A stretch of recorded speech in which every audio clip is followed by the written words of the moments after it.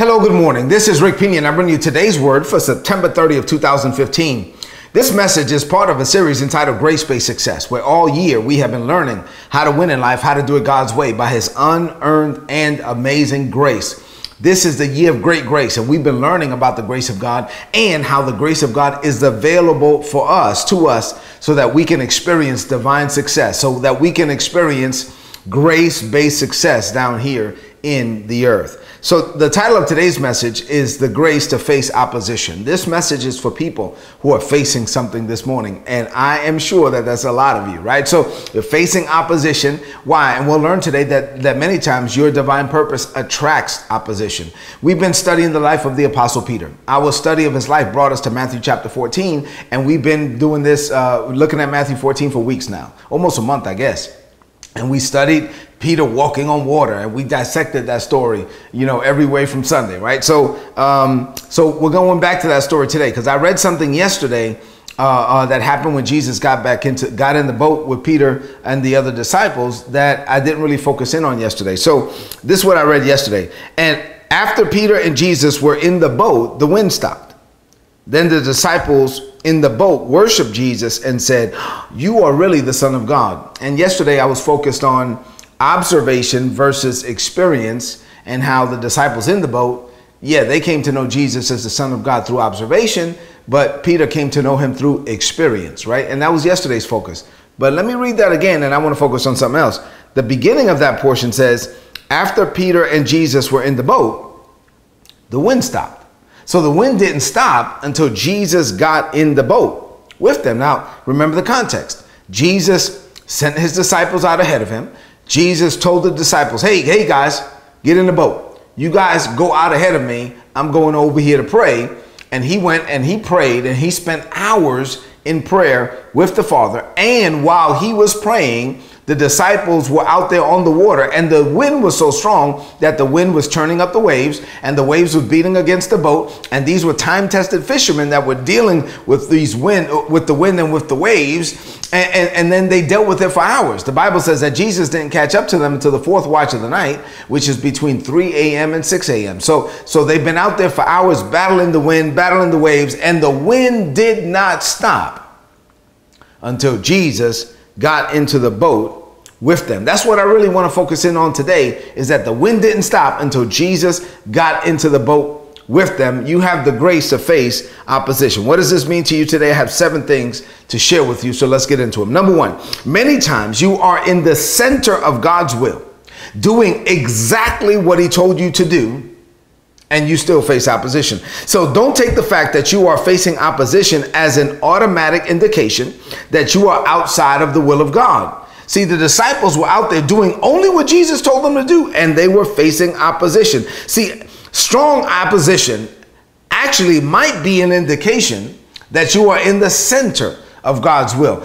They were doing what Jesus told them to do, and the opposition came. I believe the opposition came because they were doing what Jesus told them to do. Number two, divine purpose often attracts opposition. The good news is that the opposition of the enemy can't stop the purpose of God. So, so when you are doing the will of God, when you are walking out your divine purpose, Many times it is your divine assignment. It is your divine purpose that will attract the opposition of the enemy. Number three, when you receive instructions from God and you are walking them out by faith, opposition comes to see if you will give up before your assignment is complete. In other words, opposition comes to prove your resolve, to see if your faith can stand against the storms of life. Do you have faith that is going to falter when the storms come, or do you have faith that is going to stand? Having done all, to stand some more and to keep standing until you see the manifestation of God's promise. Number four, you are not going to accomplish your divine assignment in this world without facing opposition. In 2 Timothy 3 and 12, Paul said, Everyone who wants to live a godly life will suffer persecution. If you want to live a godly life, if you want to live a life that is upright before God, you will suffer. You will face opposition. You will suffer persecution. There will be opposition that comes to you because of your divine assignment. Number five, you can't accomplish anything of significance in this world without a fighting spirit. Every person God has used mightily, look at it. I mean, study the Bible. Every person God has ever used mightily, people who were anointed by God to impact this world, to leave a mark that, that could not be erased. These were people who had to overcome pressures and attacks and opposition of the enemy. They had to overcome some stuff. And you, as a believer, if you are going to accomplish anything of significance in this world, you have to have a fighting spirit. You have to have a spirit that says, I will not give up, cave in, or quit. God is on me and in me and with me and for me, and I cannot lose. I shall not lose. I shall never give up. Number six, your desire to do what God told you to do must be greater than your desire for comfort? Are you willing to pay the, the, the cost involved in becoming the person God called you to be? These people were out there doing the will of God and they were facing all types of opposition. And it happened while Jesus was there. It happened while after Jesus was gone. And, and, and it, that's how it happens with us. You, there is a cost associated with becoming the person that God called you to be. And yes, you can just say, I don't, man, forget it. I ain't doing all that. And you can just go sit on the couch somewhere and not accomplish anything. And yeah, you could have earthly comfort, but you are not going to leave a, a, a major impact in this world. You are not going to make the impact that God called and destined and designed and desired for you to make. And so if you are going to leave a mark in this world that's not going to be erased, then you are going to have to face some stuff and overcome it. But he, here's the good news God has already given you the grace. That leads me to number seven. God has already, already, past tense, already given you the grace for the victory. He is not going to give it to you. He already gave it to you. You have the grace to face whatever you are facing. And the only way you can lose is if you quit. If you don't quit, you can't lose. If you it, listen, if the battle, if it looks like you're not winning, then the battle is not over. The only way you can lose is if you quit. As a believer, God has called us to be to be overcomers. 1 John 5 and 4 says, This is the victory that overcometh the world, even our faith. You have to live every day with the spirit of an overcomer. But how can you be an overcomer if you never have anything to come over?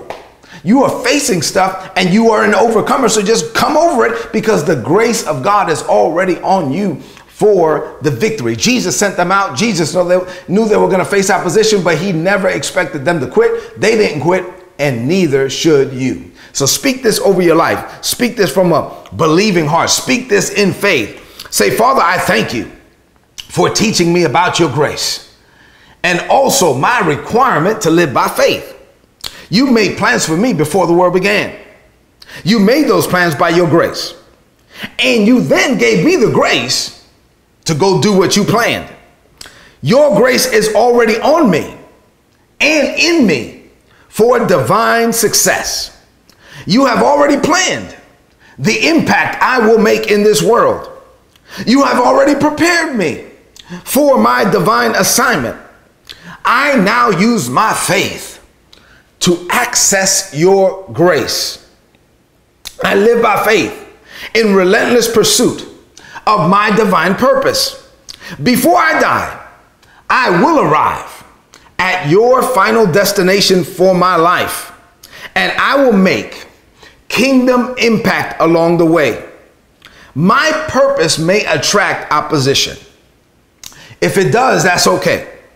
Because the same grace that is on me for my divine purpose is also on me to overcome every challenge. I am not moved by challenges. I'm not moved by opposition. I'm not moved by the pressures of this world. I am only moved by you.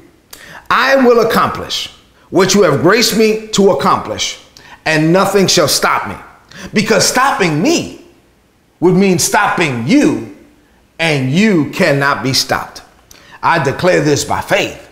In Jesus' name, amen. This is today's word. Apply it and prosper. If you're not getting these messages, go to today'sword.org. Look on the right hand side of the website, sign up, you get the messages that will be a blessing to you as you head into this day. Listen, if you know this message is a blessing to you and you know somebody that needs it, share it with them. Just remember as you head into this day, you might be facing something, but God has already given you the grace to face opposition.